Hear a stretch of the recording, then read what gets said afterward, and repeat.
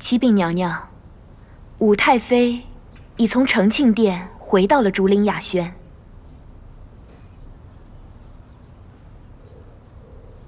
咸灵宫莲枝私下求见，她说娘娘看了这密函，自会相见。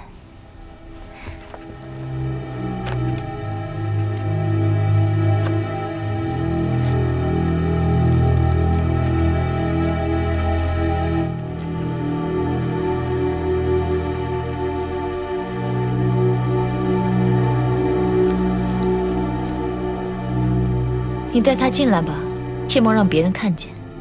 是。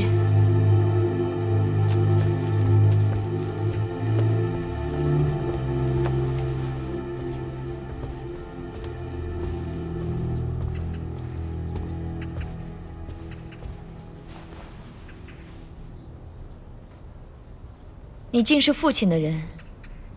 奴婢是娘娘的人。皇后娘娘宅心仁厚。在这宫规之争中，难免处于下风。王大人只是未雨绸缪，还真是有劳父亲费心了。今日来又所为何事啊？秀珠是自己人，但说无妨。奴婢是为娘娘提供一个彻底扳倒萧淑妃的机会。奴婢担心萧淑妃会联合武太妃共同对付娘娘，便利用素洁殿下挑拨两人的关系。陛下偏袒武太妃，可萧淑妃何曾受过这等气？冲动之下，让奴婢之前所安排的婢女绿芙欲行毒害之事。萧淑妃的意思是让其落胎，若无胎儿，这武太妃便再无身份留在太极宫里了。现人证物证皆在奴婢手里，娘娘若将此事告知陛下，这萧淑妃必无翻身之日。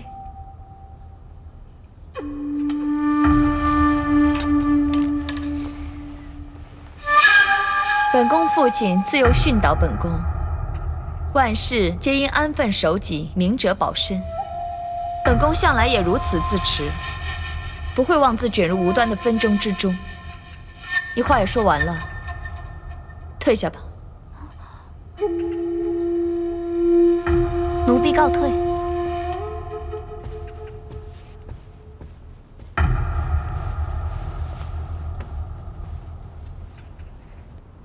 恕奴婢斗胆。娘娘是担心，这是萧淑妃的反间计。密函是父亲的笔迹，没错。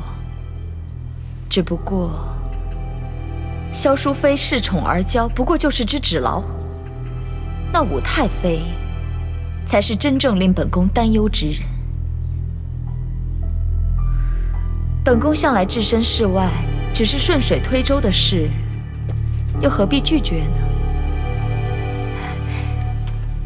娘娘的意思是，等武太妃失去了孩子。再将那萧淑妃供出，也不迟。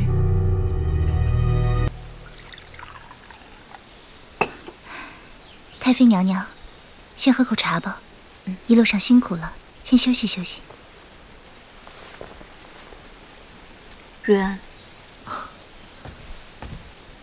姐姐，自我从承亲殿出来，这一路上遇见了四位嫔妃，每一个人皆对我没有好脸色。眼神里尽显鄙夷之态。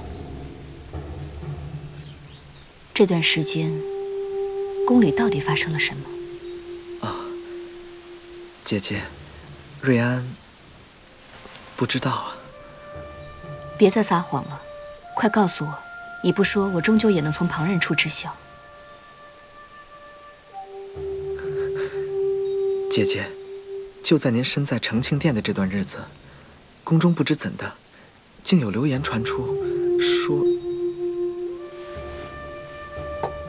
说什么？说您怀的孩子不是先帝的，而是当今陛下的。什么？怎么会？姐姐，姐姐，姐姐！太妃娘娘，姐姐，太妃娘娘，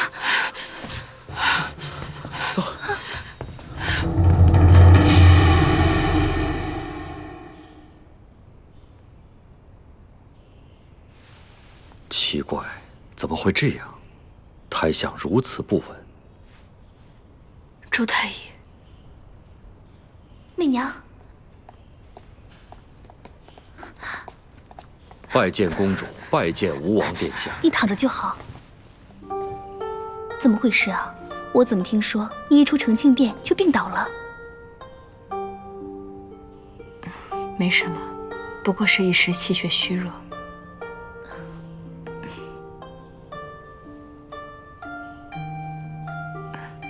媚娘只是小样，倒是劳烦王爷与公主挂念了。武太妃可是说过，你我之间无需客气的。都晕倒了，还小样？瑞安，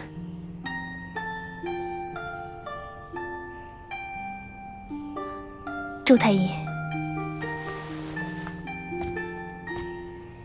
公主殿下，吴王殿下，能否借一步说话？你好好歇息。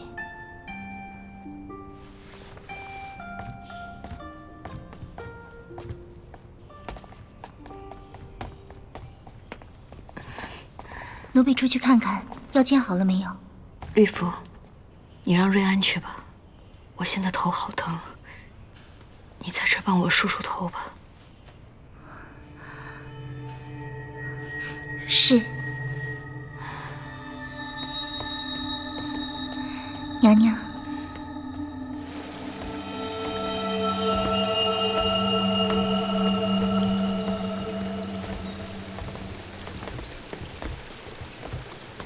怎么了，太医？武太妃究竟为何出现昏厥？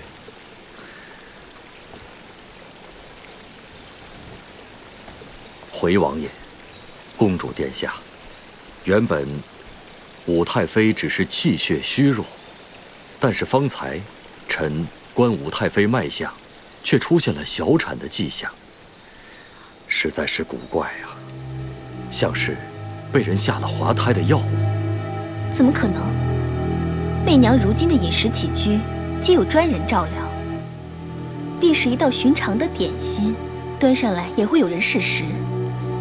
要想在她的食物汤药里下毒，可是千难万难啊！臣也不明白。啊，也许不是入口的毒药，像是衣服、烟粉，但凡能够接触到肌肤的，皆有可能啊。那太医的意思是，下毒之人就在武太妃身畔。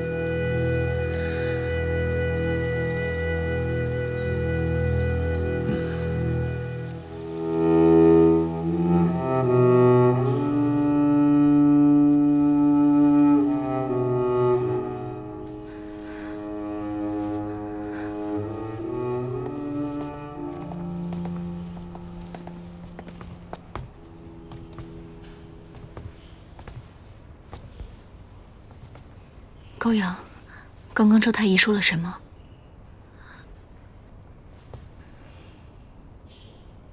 你倒是说话呀！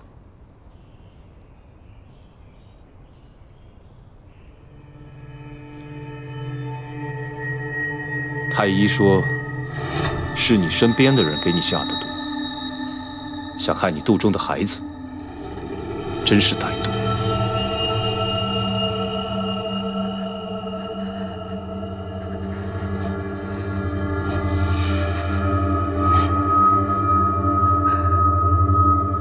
哆嗦什么？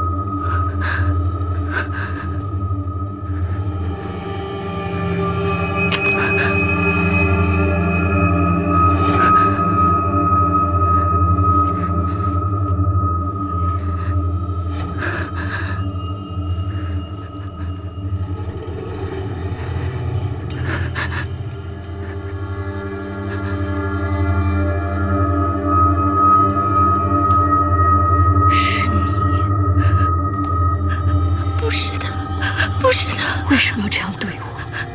不关我的事，为什么要害我腹中的孩子？我不是有心的，我不想害你的孩子。太妃娘娘不关我的事，你不要怪我，我不是有心的。太妃娘娘，说，到底谁是幕后凶手？你说，我可以饶你性命。我不想害你、啊。说。